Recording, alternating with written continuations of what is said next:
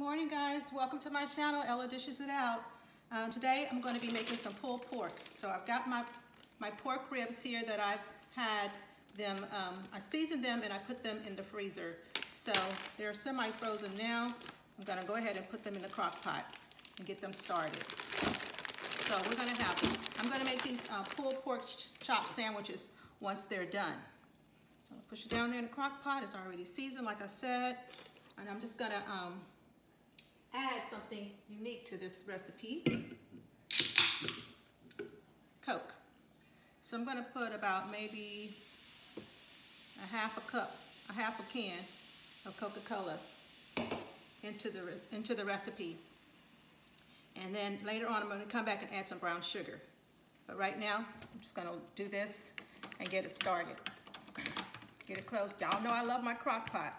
So it's just easy. You just you know, put it in there and forget about it until it's done. It's the easiest way to cook. I mean, it's, it's almost like cheating. You're not really cooking. but anyway, thank you guys. Um, we'll come back when it's done.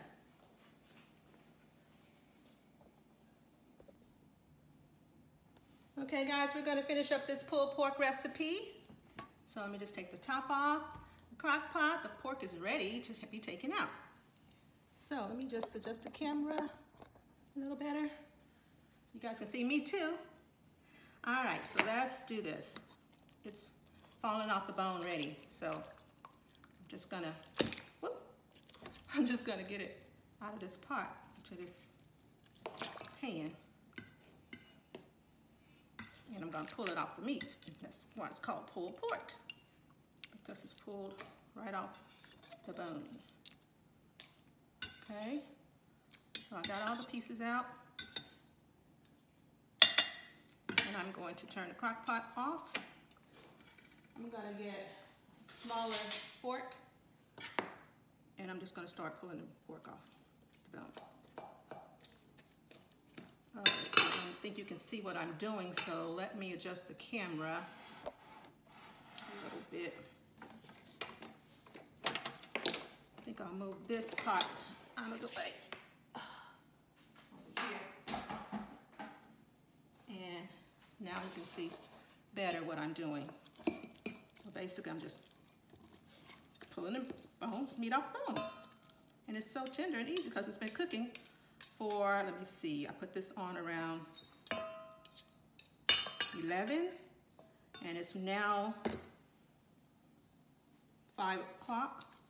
So that's probably six hours or so been cooking. So that's what I'm doing right now, just separating the meat. This pork was kind of fatty, so I'm gonna have to go through it and pull the fat meat out because I don't like fat meat in my pulled pork sandwiches. but it smells so delicious. And the gristle, of course, has to come out too. So just pull those bones and gristles. I see a gristle right there. See if I can grab it with my fingers. Gristle. Take out all the bone and gristle that you see.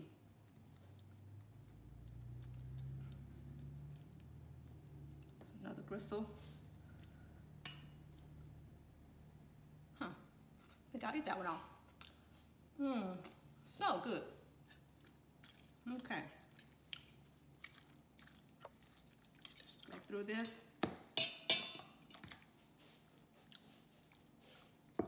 Separate it.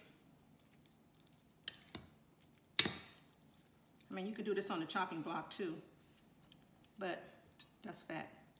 I don't want that in there. Just another piece of fat I don't want in there. Fat off. Put the meat back.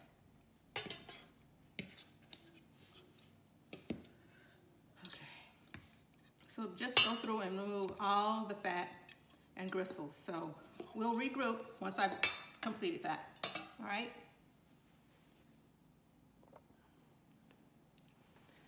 Okay, I've gone through the process and I've separated all the bone and fat and gristle. And this is what I had in there that I pulled out. Now, some people will uh, trim the fat off the meat before they cook it, but I don't do it that way because I allow the fat to help tenderize and cook the meat. Um, so, you know, that's how I do it. So anyway, this is the finished product, the pulled pork. I just separated it. And I don't know if you can see good enough with the lighting, but basically I just separated it um, with the, uh, with my two forks here. Made it into small pieces. So um, we're gonna have this on a sandwich and I'll show you the sandwich, the finished product once we're done, okay? All right.